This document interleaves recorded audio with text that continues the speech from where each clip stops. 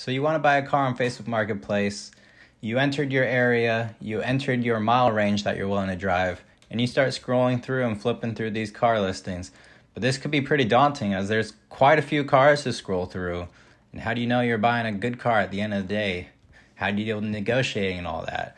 So this is how I go about buying used cars on Facebook Marketplace. And I like to separate this into two categories. One being, am I trying to buy a car to flip and sell and make a profit? Or is this a car that I'm going to keep for a while? And maybe I don't care as much for the price.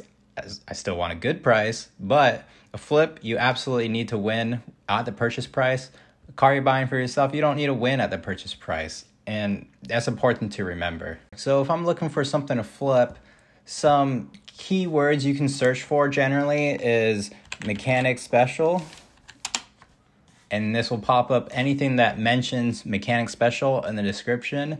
And you can go through this and look through what you can handle or not. So like i pop on this dodge charger. Don't really want to watch a video. This was a police unit and new transmission but needs catalytic converter classic charger for sale. So you get an idea of what's out here and we saw the price was 2200 or best offer. And we can just keep moving on. If we like that favorite it or message. If we don't move on. Now another search i like to do is search by vehicles. And let's search by price. Let's say 3000 is the max that i want to spend. So i'll hit enter. We'll pull up our results. And this is just a quick way to get some filter results within your budget. And sometimes these cheap cars are a good way of just finding something that's maybe worth potential and flipping. Uh, like Honda's Accord, it's like cheap car, old car. It's going to need a lot of work, but hey, maybe it makes sense, especially if you're familiar with the car. Mustang, I'm not familiar with Mustangs. I would definitely stay away, but that's just because I'm not familiar with them. Now, I am particularly looking for a four door. And what's the best four door? Not really, but I like Saturn. So we're going to scroll through this list of Saturns in the Atlanta area. So I'm going to scroll through here and I'm going to find something that I like and we can go through. But something you'll find quite often is a nice photo like this of this old 94 Saturn, it says. But you scroll through and this photo is a, a Lexus interior. And then here's an SC2 which is not the same one in the listing. So, yeah, lots of weird things happen on Facebook Marketplace that you just have to be aware of. So now I found this car that I like, but the price I think is a little high for a cheap Saturn. I mean, I remember when these cars were 500 bucks, but 2 years ago those times have changed. So, here we are and I'm looking for a car that I'm going to keep for for a little bit. So I don't necessarily need a flip car. I don't need to get the best price possible, but I still want to get a fair deal. I'm looking through this, read the description, under 100,000 miles, which is pretty crazy for a 97. And a 1997 out here in Georgia does not need an emissions test as of 2023. So that's good. I think it's 25 and older don't need emissions tests. But let's look through these photos. So they actually show the miles, uh, the interior looks pretty nice just from these photos. It looks like there's some scratches on the paint. Um, this st- sticker thing on the license plate, there is just a paper plate. When there's a dealer that's selling a car on Facebook Marketplace, it makes me a little more cautious. I prefer to buy from private party, just individuals like me. That's just because individuals are more likely to negotiate. Dealers most likely won't negotiate with you. And that's just the reality of it. So I prefer private party individuals just for that fact. But other than that, dealers are great because they can get your title and stuff all done, handed right there on the spot. So interior is still pretty good. It's automatic, which is going to be perfect because I only have one automatic car and my wife would prefer another automatic just in case something happens to her car again. Has a battery in the seat. So right away that's telling me this car probably has a new battery or it has some battery issues. So that's something to consider. We can see this tear in the carpet down here and some wear in the uh, rug right here, floor mat, but uh, no big deal. And we get the VIN, and that's it for the photos. So we don't get to see the engine or anything. Now this, just doing research online, just knowing a little bit about these cars. This is supposed to come with a 1.9 liter inline four, and oh, that's that's the engine I want. I I want the dual overhead cam in this rather than the single overhead cam, just because of more power, and I'm just more familiar with dual overhead cam. But that's just specific to me in this car. Looking through this though, everything checks out for me other than this 3000 price. So I'm going to save this and I'm just keep, keep an eye on it. And if they drop the price cuz no one wants to pay 3000 for a Saturn, then I'll come back and message the person. So I'll get back to you if that happens. And as you can see, the Saturn is now sold. I did in fact purchase this. So I'm going to walk you through my inspection and everything, but the price did come down from that 3000 to 2200. I can tell you I did not pay 2200 for this car. I was still able to negotiate lower. The description changed as well. This time it says put a new battery in the car. Sometimes it starts, sometimes it doesn't. So, what I was made aware of as I was going to see this car the next day was this car sometimes has an issue starting, and I asked for a quick description, and to me, it sounded like a bad battery. You turn the key, and nothing happens. But sometimes when you're speaking to people that aren't so mechanical, you kind of have to take their word with a grain of salt because sometimes they think they're hearing something, but it's actually something else, really. So, just something to keep in mind. But yeah, we bought this car.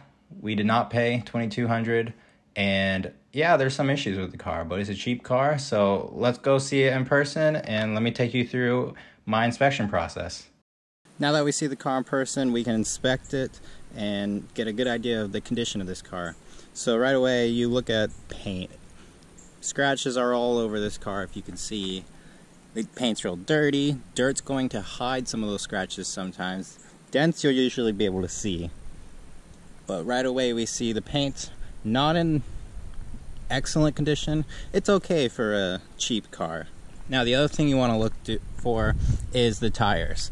Do the tires have good tread? Are they dry rotted and cracking? Or are they pretty good like these?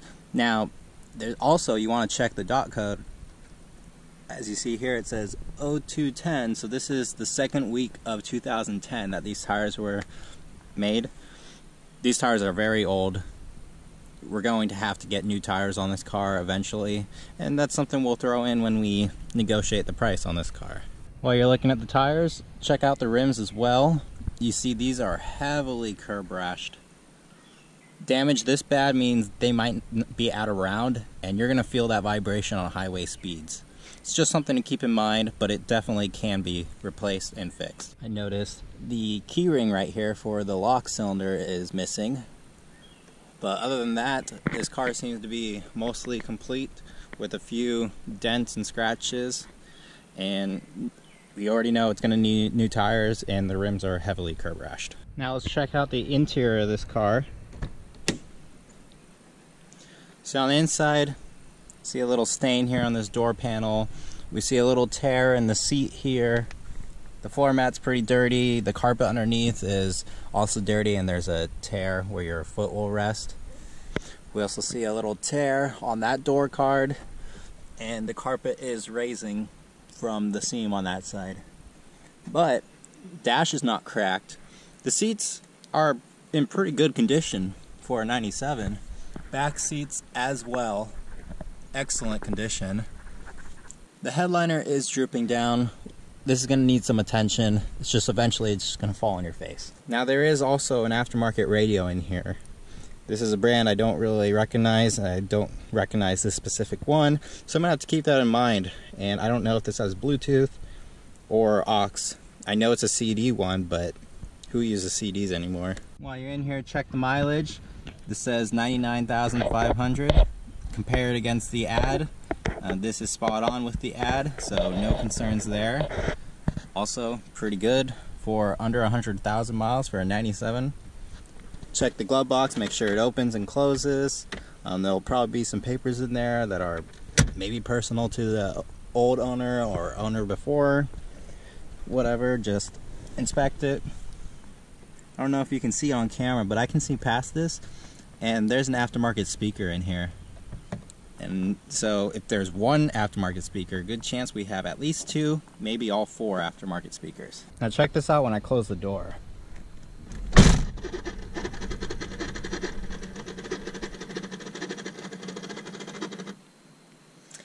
Yeah, that's not a normal noise. So it seems like the power locks are acting up. Something's going on there. The owner did tell me that the battery dies overnight. So that that's a really good suspicion of what's causing the battery to die, but that is not right.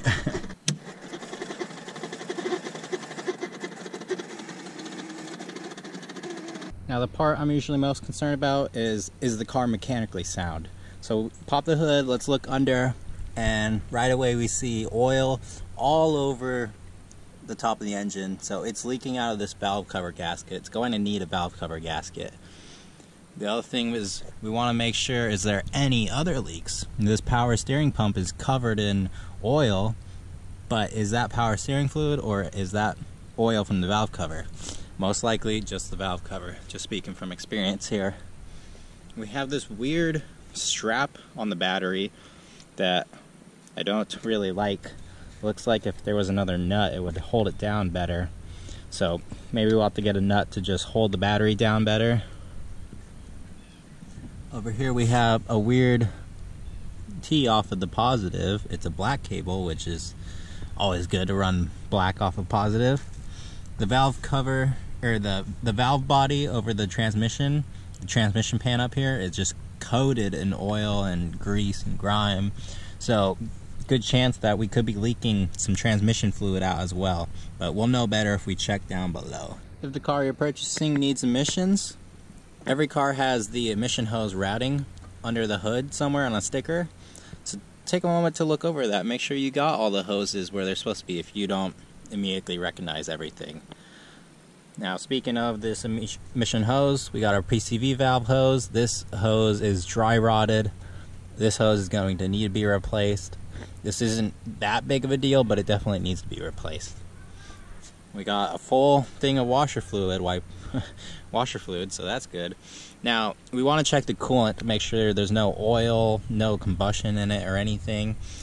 But before we do that, grab one of the radio radiator hoses that you can reach.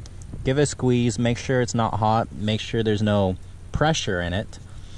And if you can squeeze it, then there's no pressure and we can open this slowly. Now sometimes people will have cars running before you get there and it will be warm and you won't be able to do this. So if you can, always ask that the engine's cold when you get there. Now inside of here, you want to make sure it has the right color coolant or if, if it's green, you don't want to see any sludge in there, especially with GMs because GMs had Dexcool. Dexcool does not mix with the universal green, so make sure it's green, make sure it's it smells sweet like coolant and not stinky like exhaust. So this smells just like coolant. I don't have any concerns. I don't see any sludge, no brown or anything. And this has the orange Dexcool in it right now. And we can also take off the oil cap.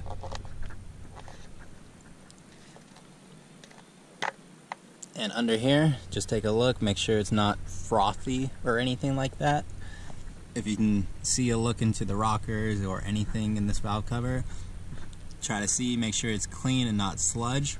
Take a sniff. Make sure it doesn't smell like gas or anything. And if we're all good no frothiness then pull out the dipstick. Have a look at the oil color. If it's that light color then it's, it's new it's fresh it's good if it's real dark black, then it probably needs to be changed. And give it a sniff as well. You want to make sure it does not smell like gas. You want, it should just smell like oil, but you should know what gas smells like. Make sure it doesn't smell like gas. And if we're good, put it back in. Transmission fluid is right here as well. Pull it out. Make sure it doesn't smell burnt. The color is supposed to be like a reddish pink color. This is a little on the dark side, so maybe it needs to be replaced. Don't pay too much attention to the level because normally automatic transmissions have to be checked when the engine's warmed up and it's in park running. So just engine turned off, don't worry about the level, just give it a smell, make sure it doesn't smell burnt. If it's burnt, you may have a transmission issue. Now after looking at the top side of the engine, go down, lay under it, take a look, make sure you, you don't have any rust or any rotted out frame or anything like that. Make sure the suspension looks decent.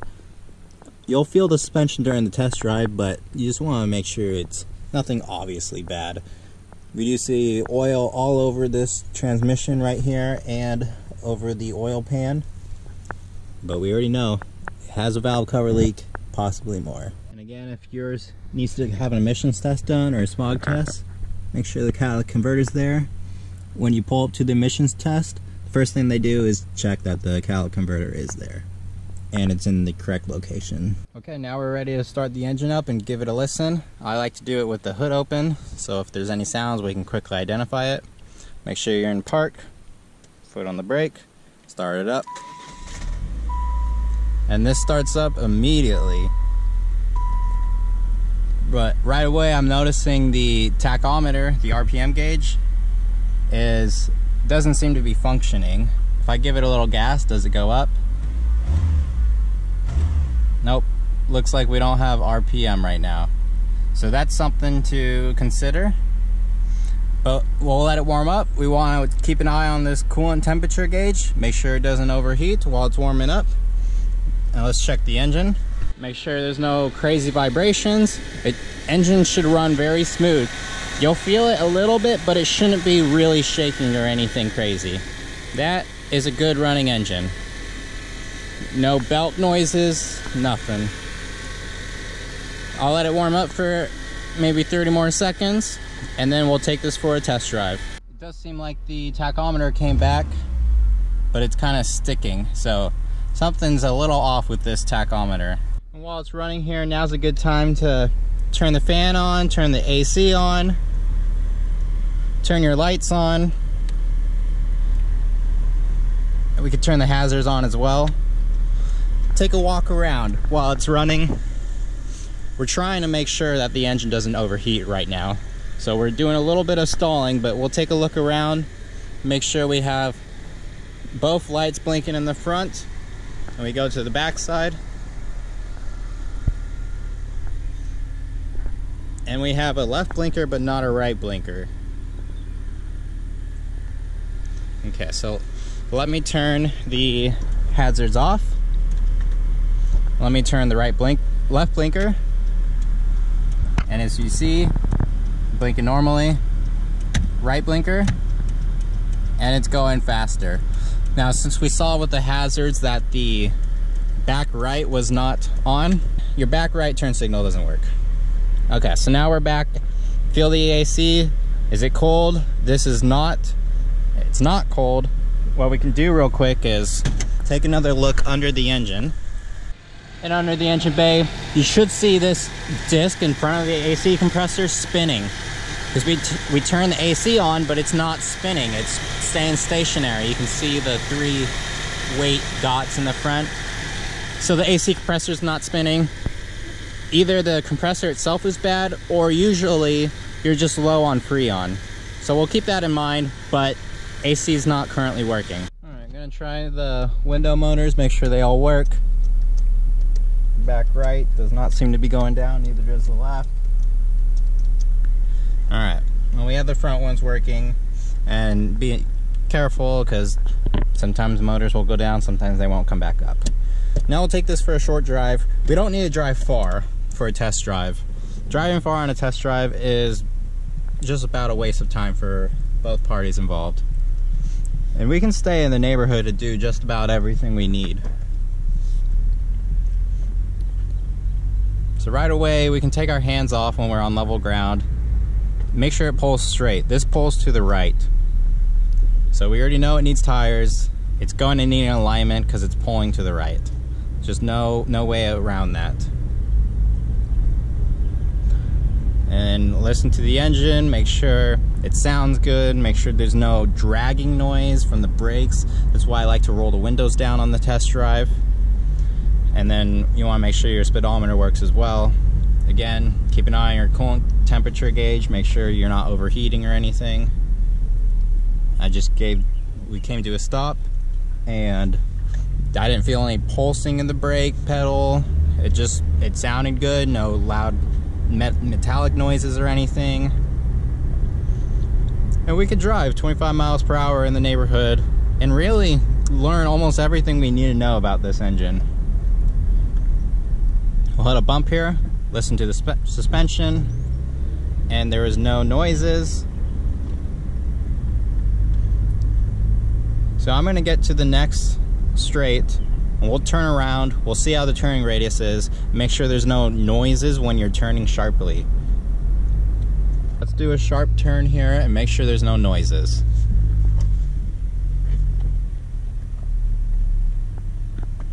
Nothing. We'll go in a reverse.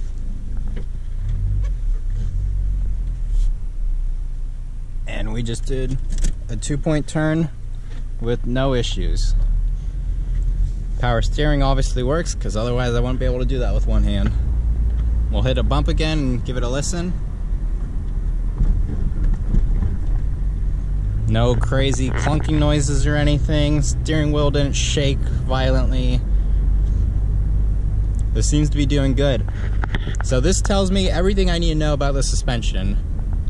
Everything is as good as it should be for an old 97 car. There's really no present issues that we have to worry about. Okay, last thing we want to check is how it responds under throttle. So we can give it some throttle here and then we'll quickly get off of it. So I'll step on it. Okay, so we downshifted from our probably third gear into second. We gave it throttle. It went up to third gear and now we're cruising probably in fourth gear. So that tells me everything I need to know, and that's as simple as your test drive really needs to be. Now again, checking the coolant gauge, we are good. Now we want to test the heat. I'll turn it on to hot, give it a feel, make sure it's really hot, and it is. We'll turn it back to cold, make sure it goes to cold try out the different selectors in here. Make sure it goes down to your feet. Make sure the defroster works up there. Everything seems to work. And uh, I am confident that this car is mechanically sound. And another quick check. Go to the tailpipe, put your hand over it. If you feel any inconsistencies, that could be a misfire that maybe you just can't hear. But when you do this, if it's not consistent here out of the tailpipe, then you know you have a misfire. Alright, we will turn the engine off. Turn the headlights off so that stuff's beeping. And then we'll try turning it back on. Make sure it turns back on once it's warm. And it does, and it starts immediately too, which is good. Now the only thing we can't really tell on a short test drive like that is how does it do on highway speeds? Does it shake? Are the wheels unbalanced? And the reason I don't feel like that's really necessary is most of the time when you go to look at a car, it needs tires or the wheels are curb rashed. And just automatically you should know and figure and account for you're probably going to need to put tires on it. And if you put tires on it, you're going to get the wheels balanced. And if the wheels aren't good, then you're going to need new wheels. So that's just something you kind of have to budget in no matter what, whenever you look at a car. Or you just live with it if it has an issue. Like this is a cheap car. I mean, we're going to put new tires on it because the tires are 13 years old and that's dangerous. But the wheels, we'll just live with it. If there's a vibration on highway speeds, we'll live with it. It's a cheap car. And you get what you pay for sometimes. But that is perfectly acceptable. And the car seems to be mechanically sound. Now we can go on to talking over the price. When negotiating, you have to know what kind of car you're dealing with and who your audience is, who you're negotiating with. Cheap cars like this, sometimes you probably won't be able to get that much negotiated out of it. Sometimes people think their car is worth more than it actually is. and you have to tread that needle sometimes and be cautious, polite, respectful. But end of the day, when you're negotiating, you're negotiating for the benefit of you, but you also need to make the seller satisfied in that they got a sale and they have cash in their hand now. Now, what's actually worth negotiating on this car? Well, we'll start with the tires. The tires are old, they have to be replaced. Uh, the wheels being curb rash, not really worth mentioning, but the tires being 13 years old, and if you can show the seller that dot code, that date code, then that's even better. Then they'll have nothing to disagree with. The paint being scratched up, not really worth bringing up on an old cheap car like this. It just, it is what it is. The noise that the door locks make is definitely worth bringing up. And the fact that the battery dies overnight, we need to keep that in consideration. Is the door locks an easy fix? Is diagnosing the battery dying overnight easy? We need to keep that in mind. It is worth mentioning, however, that the AC does not work. So when you turn the AC on and you press that AC button, that commands the AC compressor to turn on. So show the seller that when you press this AC button, go to the engine, the compressor is not kicking on.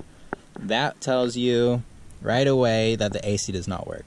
A lot of times when you go to buy a car and it's cooler outside and you turn the fan on, you click the AC button and the air feels cool, a lot of times the seller thinks the AC actually works, especially if it's a flip car that they haven't paid that much attention to.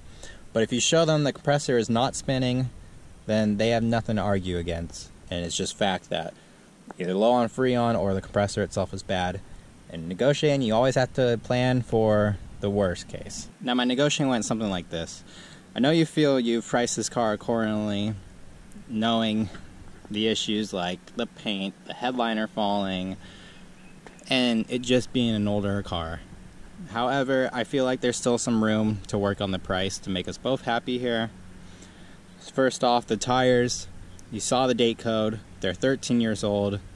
That's just a safety hazard. They need to be replaced right away. The other thing is the AC is not working. When I pressed that AC button, you saw the compressor did not turn on. This car is going to need AC, especially living in the south here. Now, with those two things in mind, I want to be fair to you, but I also want to be fair to me. Since you've already reduced the price so much, I feel another 200 off is fair, and that will satisfy both of us. Now, 200 is definitely not enough to cover the tires, and definitely not enough to cover the AC. So that puts the risk mostly on me, and that gives me a little bit of incentive to continue with this purchase. That risk is on me, not you. You get cash in your hand. You don't have to worry about this. You don't have to negotiate with anyone else. So once you come to an agreement on the price, check over the title.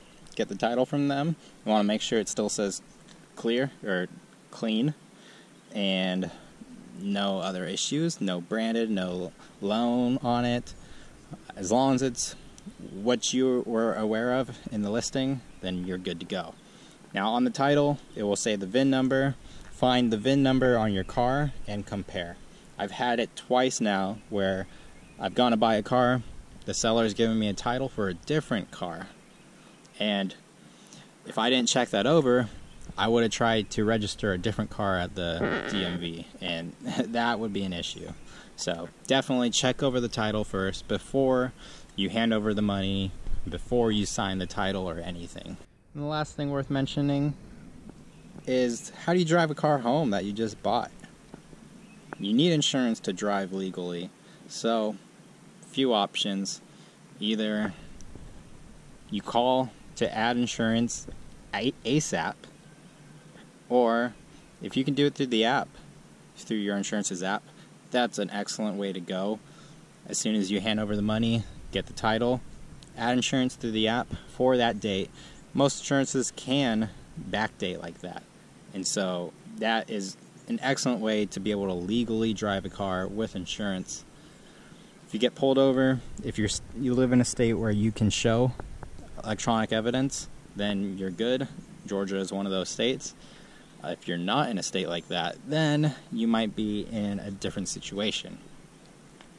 Now, sometimes what may be a better solution is see the car out. If you like it, tell the seller you'll be back tomorrow.